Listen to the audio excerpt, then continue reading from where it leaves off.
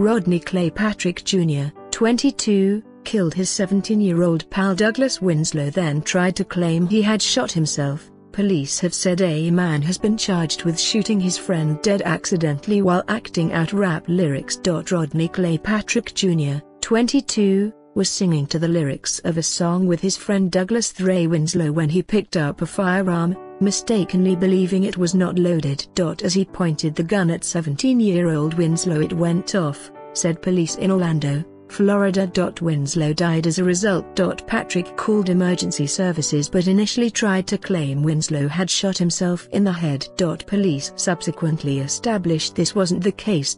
Patrick has been charged with manslaughter using a firearm, tampering with evidence and possession of a controlled substance.